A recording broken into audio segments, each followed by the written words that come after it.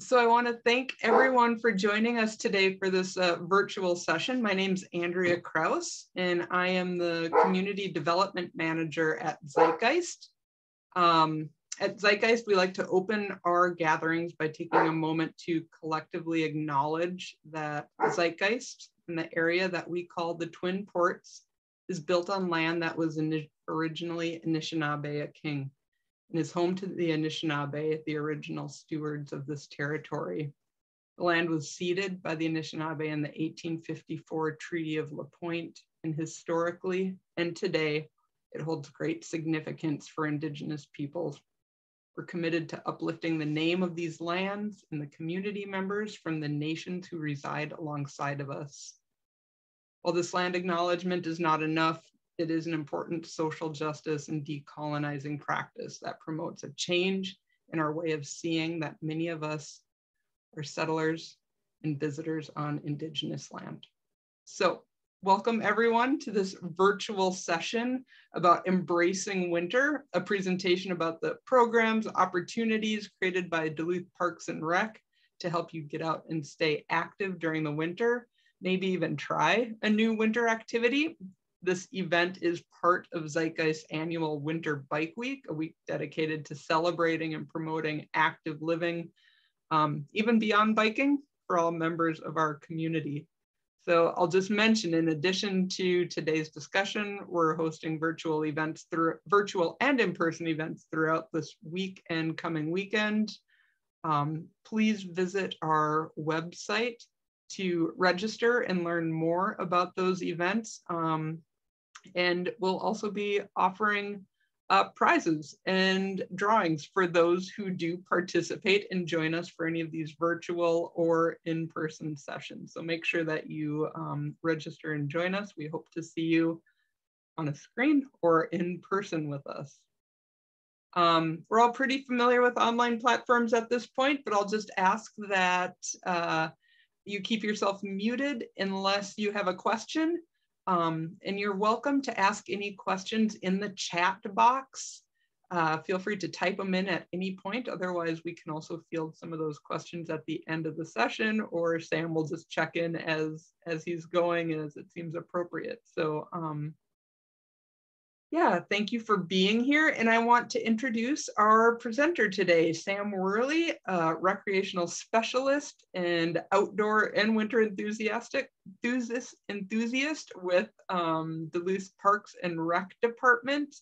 Um, Sam has dedicated many hours to working um, and helping people stay active outdoors. And if you joined the fun at Cold Front this past weekend, you have seen some of the work that he has been a part of.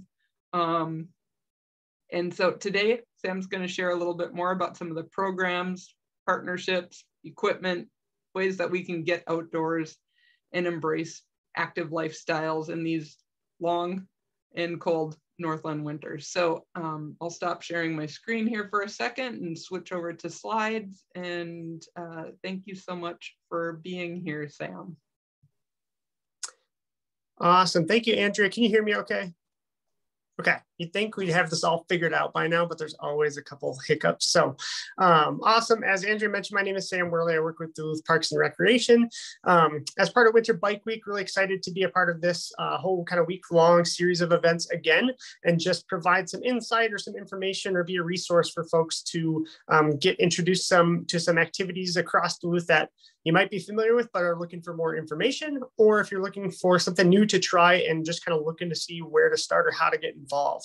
Um, if you heard Andrea mention Cold Front, that was a big event we had this past weekend uh, down at Bayfront Park, where we did dog sledding for kids. Uh, kids could try cross country skiing. There's a big luge sledding hill, um, kind of a snow obstacle course. So if you were there, great. Thank you for coming out. Uh, if you missed it, uh, stay tuned for next year and we'll see you out there. Um, and as Andrea mentioned as well, if you have questions throughout uh, the presentation, feel free to put them in the chat uh, or just kind of buzz in and unmute yourself and, and uh, toss it over um, and we'll get things answered and happy to, to provide as much information as I can. Um, but as we get started, kind of what we're going to cover tonight is just broadly, kind of from a bird's eye view, just some basic tips or ideas as, as we think about how to enjoy winter, maybe just start to experience winter a little bit more outdoors. It can take a while to begin to enjoy it, but that's kind of the point is to get out there and try things and, and find ways to, to become more comfortable or find ways to enjoy the outdoors in the winter. Uh, and then I'll focus on some parks and rec specific things. So I'll give you some insight into some of the things we offer, whether that's equipment or programs or partnerships that we uh, are part of that can get people outside and active. Um, a lot of people know Duluth for its outdoor spaces, and a lot of people visit our parks and trails. Um, but you may not know that we offer a lot of ways to help get people get out there and involved or engaged in those spaces. Um, if you maybe don't have the experience or the equipment or the knowledge, we're uh, coming out with more and more ways to really welcome people into those spaces and and uh, experience them on like a you know square one basis, really intro level hikes or intro level um, you know ice skating opportunities, things like that. Um, so uh, excited to share some of that later on, but uh, Andrea, feel free to click through there. Yeah, so just on our main screen here, Embracing Winter is what we'll talk about. Uh, we'll talk about what is on the screen here, this sled shed. Uh, we started those last winter um, and continuing this winter have been really popular. So there's free chances to go sledding out in a few different parks across town. Uh, we kind of replace sleds as they get broken or get lost, which can happen. We'll go replace them. Uh, but we'll chat about that one a little bit later. So feel free to jump to the next slide there. All right. Um, so it says ways to get out there. Uh, you know, getting outside in the winter, um, can be a little intimidating if you're not familiar with being outside, if you're not comfortable with the cold, or maybe aren't from this area, especially when it gets dark so early.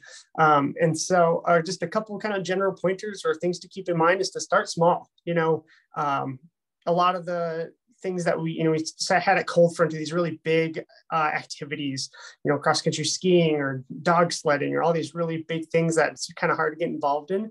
Um, getting outside and becoming comfortable with winter can be as simple as spending a couple more minutes per day outside, whether that's walking to get the mail or spending time on your block or on your street um, or chatting slash commiserating with your neighbors about how cold it is, that kind of thing. Um, there's some ways that you can really get involved outside that aren't uh, as intense or, or as they may seem. A uh, couple other tips for dealing with cold weather. Uh, plan ahead. If you know you're going to be outside, for an extended amount of time in the cold. Uh, think about where you'll be going, what the weather is, check the forecast. It can change uh, rapidly as we saw uh, over the past couple days. It feels like spring out today, but uh, not so, not so, uh, not similar to the, or to the last week when it was, you know, below zero for multiple days at a time. Um, a big piece of spending time outdoors in the winter is uh, dressing appropriately. And so there's lots of great resources and kind of learning the strategies or, or how to dress so that you can be comfortable. A lot of that has to do with the materials you're wearing and dressing in layers so that you can kind of help your body regulate your temperature depending on what kind of activity you're doing. If it's uh, you know low activity, high activity, or low energy, high energy. Um, and the last little tip here just says move. You can kind of plan ahead as you're getting outside, if you know you're going to be active and moving and you know walking at a good clip or trying something like skiing or th- something like that, that's really going to get your heart rate up. Um, plan ahead to be able to lose a layer, but also know that your body can help keep you warm when it's cold if we get moving a little bit. Uh, last couple of ones on the ways to get out there is uh, sharing experience with others, and that can just be within your own household or your own neighborhood, um, or seeking out other groups that have more experience um, or more knowledge. Um, you know, sharing time together, you know, has been a little short. Uh, the last couple years, we haven't been able to do as much, um, but being able to to experience and and share something outdoors with others um, can take some of that uh, discomfort in new situations out of the equation. And uh, kind of to that point, uh, if you want to get involved in something but you don't really know how or don't have the knowledge or experience, um, do a little homework or call or email me and I can point you in, in the direction of, of a group or someone who might have more knowledge or experience. Um, there's a lot of people that enjoy being out outside in the winter and doing a variety of different activities in town. So if there's something you want to try, seeking those uh, people and those groups out, um, people are more than willing to share information and, and help you get involved if you have questions. Jump to the next one there. All right, this is just kind of some of the uh, similar information as the last slide. I'm just thinking about ways to stay active. Um, you know, there's a lot of groups that walk in the winter. You know, Winter Bike Week has had a lot of great active or uh, activities and sessions this week, and we'll continue uh, highlighting um, staying active in the winter. But if you don't have those types of opportunities, or it's not your interest, or not you're not in a position to do that, um, something as simple as walking can be a great way to um, kind of find new things about winter to interact with and enjoy. Um, couple things I like to do if you or have a you know a block that you walk or just down your driveway or something like that. Uh, keep an eye out for some changes. Winter is an amazing time to to keep your eyes open outside if you're able to, um, and notice some things that change. You know, hour to hour, day to day. Uh, animal tracks are great to look for in the winter. They change all the time. It's probably a lot more than you ever realized. Um, or just look for other changes uh, down your street, whether it's what the snow looks like. Is there snow sitting on the trees that day, or is it, blown off by a windy, uh, a windy storm that came through? Lots of changes happen this time of year. It's fun to kind of keep track and use that as a, a checkpoint to go check back on every other every day or every week um, and see what's different.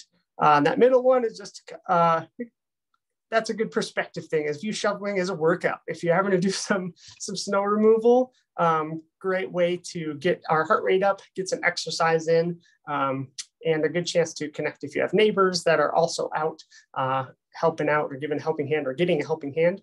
Or again, uh, complaining with your neighbors about how much snow we've gotten is also a good, uh, good way to spend some time outdoors in the winter.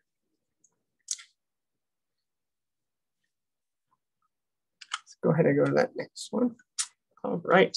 Um, so next few slides, I'm just going to highlight, you know, some things through Parks and Rec that we offer um, and some information about our, our programs. Um, you know, some people know that we have, we offer programs within Parks and Rec and a lot of people don't. We're pretty um, new to offering a lot of these new types of programs and activities. Uh, that we are, and we're continually trying to expand and, and reach new audiences and get more people involved in ways that maybe they didn't know uh, that Parks and Rec did, or things that we haven't offered in the past. Um, so this, this picture on the slide on the right side there is the cover of our winter spring uh, brochure of our program guide. So that's uh, programs from January through April. So that's what we're in right now.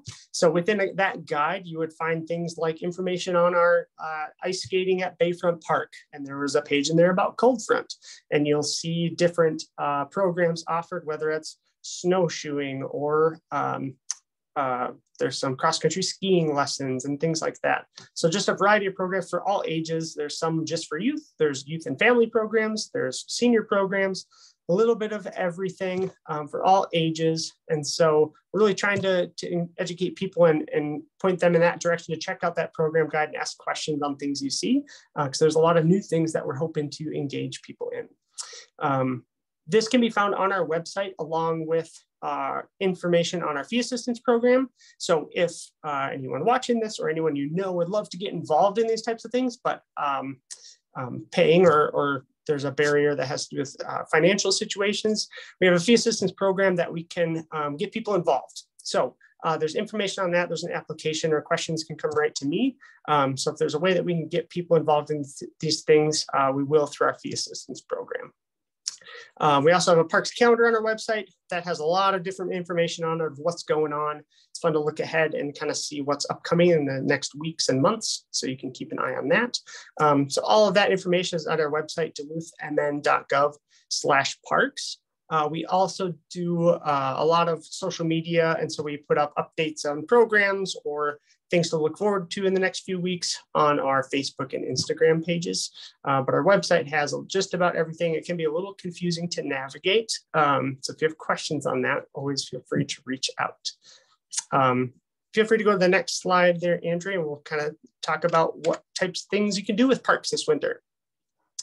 So this slide has a lot of information on it uh, just kind of a broad range of activities that uh, we can either help you get involved in in a specific Parks and Rec program, or we can definitely help you get information on other ways to participate. Um, so these are some broad categories I'll run through pretty quickly. So a really popular hobby in the winter for a lot of folks is hiking and snowshoeing. So it's still utilizing our trail resources in town in, in a few different ways.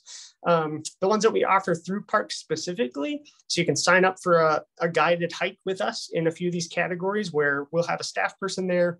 We'll provide snowshoes and headlamps if it's in the evening. Um, might be some hot chocolate involved. Um, is a great way to kind of meet people that are looking for similar things and, and trying to get out with the group. Um, in maybe in a new location or a new trail that you aren't quite sure where you're supposed to meet or where you can go. Um, this is a great way to get to know more spaces across town. So we have some night hikes, which either happen um, by headlamp or we'll, we'll line a couple up um, with full moons. And so we hike by the moonlight. Uh, we have a couple guided snowshoe hikes coming up, which just happen in various parks across town. Women Hike Duluth is a group that meets monthly um, that's a free opportunity. Um, usually gets a pretty good turnout and rotates to different trail sections across town year round. And then our 55 plus snowshoe socials. So those are uh, new this winter. Um, so we had a, a, successful senior hikes program over the summer, uh, and that's transitioned into a snowshoeing program this uh, this winter. And so those are hikes for specifically 55 plus to meet up with a staff and uh, see some new places. Those ones um, you know, we have a variety of terrain and different difficulty of trail that we that we cover for all those programs, but there are details on that in our brochure. Uh, the next one down from there is ice skating. So uh, a favorite pastime for many, uh, but if you haven't ice skated before or aren't from the area, um, it can be a little tricky on how to get involved. Um, and it's not the easiest thing to learn, uh, but we do have lots of opportunities for people to get involved in skating. One of our main ones is uh, down at Bayfront Family Center, so Bayfront Park. Uh, we have an ice rink there that we maintain. Um, we have a family center that's open Monday through Friday, 3 to 7 p.m., Saturday from 12 to 7, and Sunday from 12 to 4. Um, and that's those are open hours. The rink is available, you know, 6 a.m. to 10 p.m. Uh, but those hours are the, hours that the family center is open as a warming house. We also have some skates available there for free to borrow. So if you just want to give it a try, uh, we have a kind of a limited range of sizes there, but it's a great place to go. Uh, just get some skates on, see how it feels. Uh, there's a concession stand there with some hot chocolate and snacks and things like that. But um, definitely nice to have a warm place to, to get skates on and off. Um, we have some other ice rinks across town. You know, a lot of the, the rinks in town are managed by uh, the Duluth Amateur Hockey Association or DAHA. Um, so at a lot of different parks, there's uh, ice rinks that are specifically have you know hockey boards and a lot of times of youth practices and games and stuff like that. But all those rinks also do all the sites do have a pleasure rink which is just kind of an open area of the ground that's flooded and maintained just for folks to skate on without playing hockey just so we can have an area for hockey players and an area for people that are just skating for fun. Um, there is a, a website or a, a, page on the park's website now that's an interactive map with all the ice rinks. Um, in, uh, in Duluth highlighted. And there's also information on when there's um, youth tournaments on what weekends and what times the, the warming houses are open at those places. So that's new this year. Some really good information to get people uh, some, some information on what rinks are open, where you can skate when, and things like that. Um, so as on the park's website, kind of right in the middle of the page, there's a link that says outdoor ice rinks. Um, and you can click on that link on our main parks page. Um, as I mentioned before, our sled sheds have been very popular this year. So that uh, that's a project we started kind of was born from COVID. We saw uh, that happening in a couple other places around the state and around the country and thought that'd be a great thing to add to Duluth parks. Um, so if you go to tomorrow or this weekend, or maybe uh, when it's beautiful and 36 degrees like it was today, if you go to Leif Erikson Park, Lincoln Park, Portland Square, Bayfront Park or Merritt Park, there are giant purple sled sheds like you saw in that first slide with several sleds in, in each. Um, and that's a great way to just to go have fun without having to plan ahead too much. Don't have to find a sled or have a sled. You can just go to the, one of those places and have some fun. Uh, we've seen all kinds of uh, people using those. Uh, I've seen dogs going down some of the sleds this year. Um, so lots of people are having a lot of fun um, not only for kids. Uh, I think what I've heard from the most from the sled sheds are adults who just happen across them that were a little taken by surprise on the, how much fun a spontaneous sledding session could be.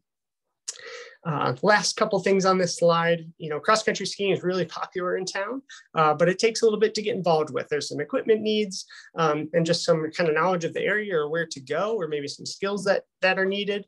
Um, as well as um, you know there's a financial barrier to some places to ski. So a lot of our ski trails that are in parks across town you do need the great minnesota ski pass uh, to to use those trails really encourage people to do that that's how uh, a lot of them get maintained over uh, throughout uh, over the course of years.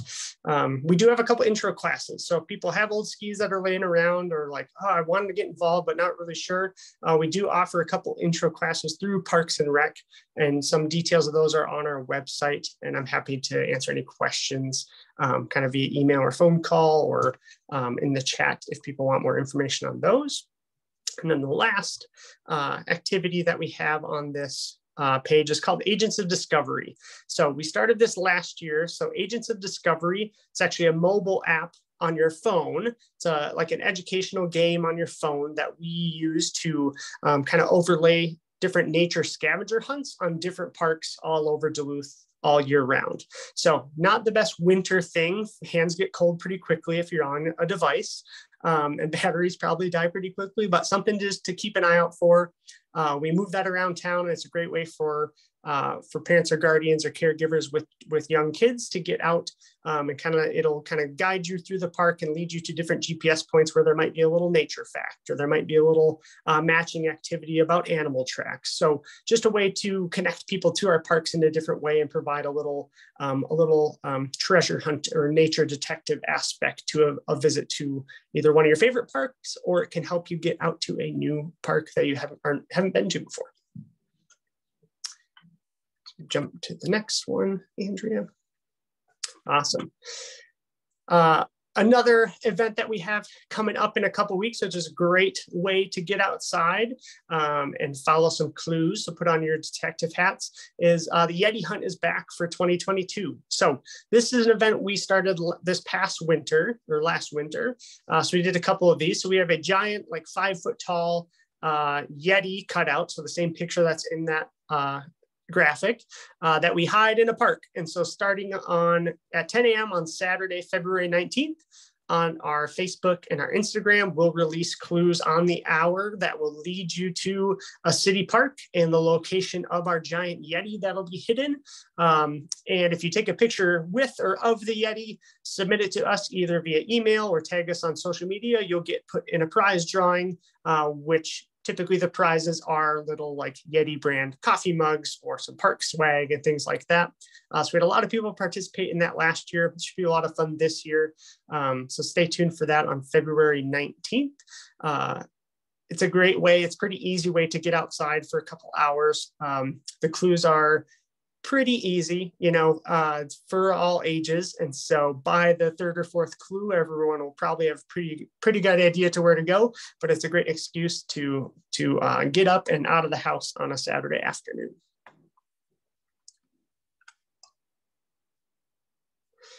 All right, I know I was talking about outdoor stuff, but as much as I like the outdoors and as much as we're promoting the outdoors this winter, uh, some people aren't super fond of the outdoors, and that's okay. But there's still lots of great ways to be active in the winter. So, real quick plug on some indoor things. If you're like, yeah, Agents of Discovery, Agents of Discovery sounds cold, and the Yeti hunt sounds cold, and snowshoeing sounds like a lot of work. That's okay. Uh, it's still important to be active in the winter, um, and we have some I, some ways to to get some uh, energy and exercise in uh, in indoor activities.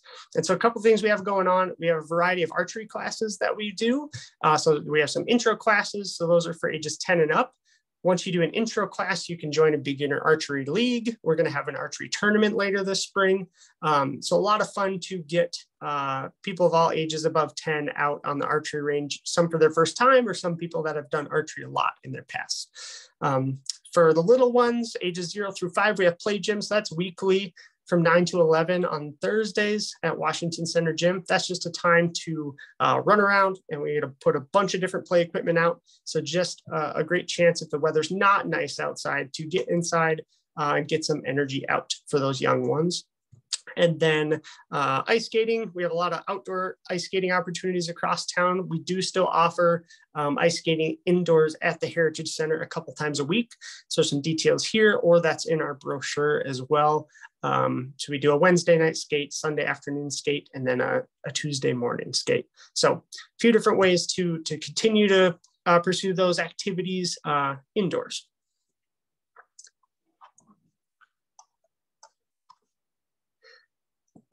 All right. Um, so a couple last things. This is pretty pretty quick, but just wanted to kind of get you uh, aware of different things that we offer, or or at least at the very least to know that we can be a resource to help you get introduced to, or exposed to, or connected with different opportunities and activities um, in the winter and also year round. Um, so just a quick reminder: our program guide, as well as information on our fee assistance program and our registration link is at duluthmn.gov slash parks. Uh, the registration site gets linked right from there. Um, but um, just know that we're a resource and there's my contact information, email and phone number. Uh, feel free to contact me, even if it's like, I wanna do this, but I have no idea where to start let me know. Uh, either I'll either I'll know something about it, or will we'll figure out who does and get you connected um, so that you can be uh, active and, and engaged in our parks and on our trails uh, all throughout the year. Um, I wasn't able to see the chat. Has, has anyone had any questions, or does anyone have any questions right off the bat? Let's see. I don't we've been keeping some of these links populated here that have been mentioned in the chat. I don't see Perfect. any so far. We'll just uh, pause here a minute, see if thank you for thank you for all this information and um, yes great to have some indoor options as well uh, there are definitely days when being outside isn't quite as manageable for everybody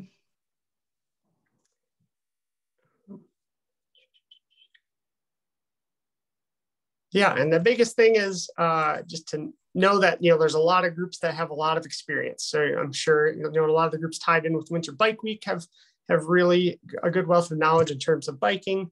Um, oh, looks like someone had something in the chat, but uh, I got yep. off my screen. Um, are there? I can read it here. So, are there any ways to offer input on parks planning or programming?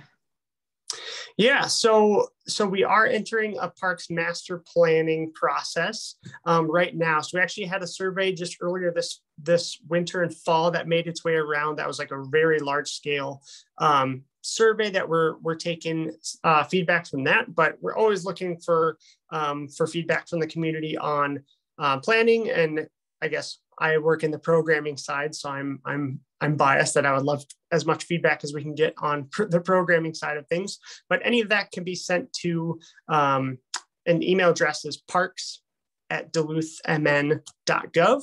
Um, and that'll come into our office and get um, passed along to the most relevant contact. If it's something program related, it may come to uh, myself or a member of our team. If it's planning related, it'll get to, sent to that side of our office. But um, yeah, always looking for feedback on, um, on uh, ideas or input that the community has on a, a wide range of topics.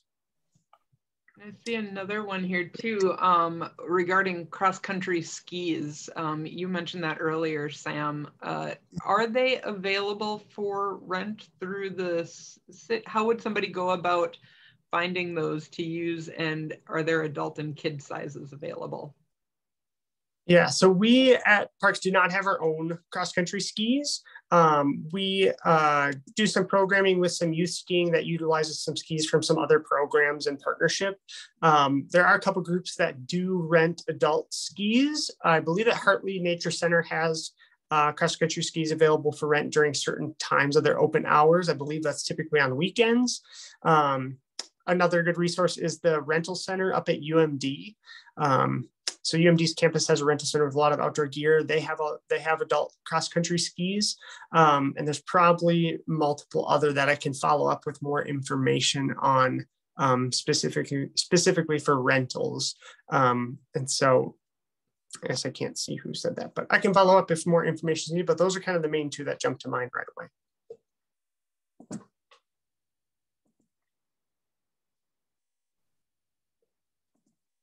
looks like might be the extent of our of our questions right now. Um, just as a reminder, we will share this video online after uh, after we get it processed. So you'll be able to reference it again, as well as the links that Sam mentioned to help connect either with him with questions. Thank you for that offer and sharing your information, as well as some direct links to the, the different programs and the map of the park system and so forth.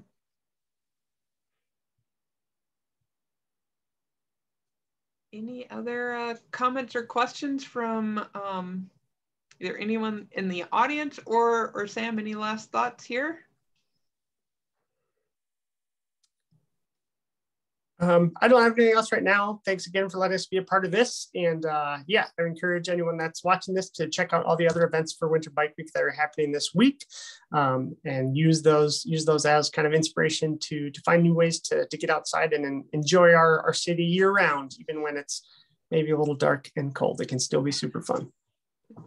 Well, we appreciate the plug for that, Sam, and certainly are grateful that you're here today sharing this information, but even more so that you are day in and day out keeping these programs running and finding ways to like best serve the community and, and get people active in all seasons. So thank you so much um, for being here. Appreciate everyone who is able to join today, and uh, we'll look forward to seeing you at some of our future Winter Bike Week events or out in the park system. Have a good night, everyone. All right. Thanks, everyone. Feel free to reach out with questions.